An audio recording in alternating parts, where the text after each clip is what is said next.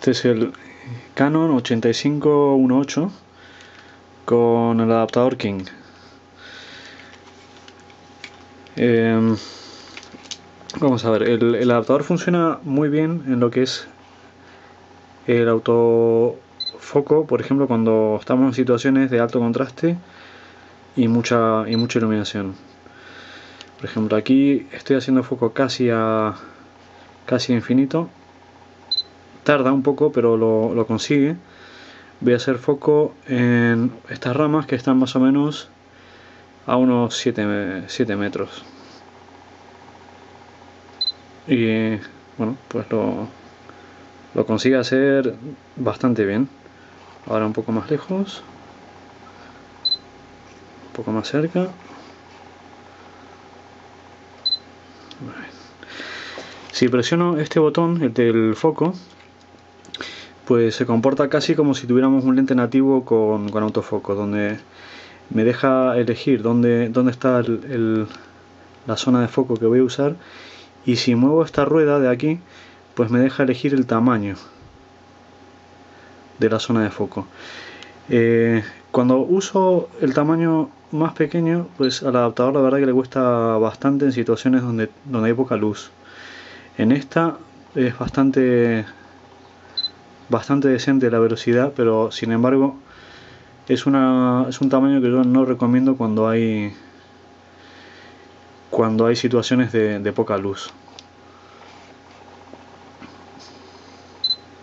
Otra cosa que tiene el adaptador es que controla eh, la apertura de diafragma como si fuera un lente nativo, es decir que ahora mismo el, el diafragma está abierto a tope, sin embargo, cuando yo cierro, por ejemplo, ahora está en 2.2,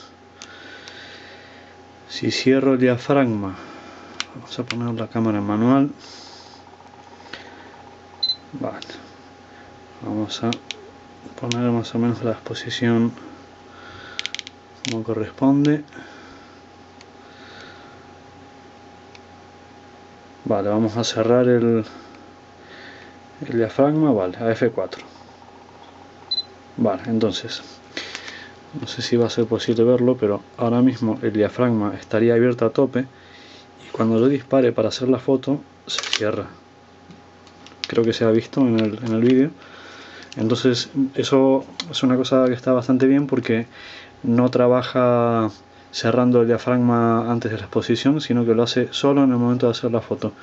Este es el Canon 8518 y como han visto, eh, el adaptador no me deja no me deja abrir el diafragma a más de a más de, F2.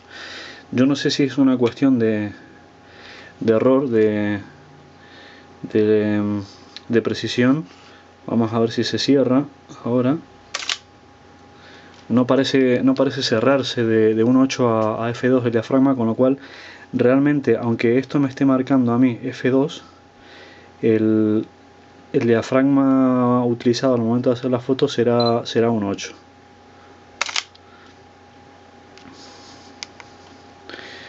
Eh, el foco y todo es bastante, bastante exacto. Es lo que tiene el autofoco por, por contraste que si bien es lento por lo menos es relativamente relativamente fiable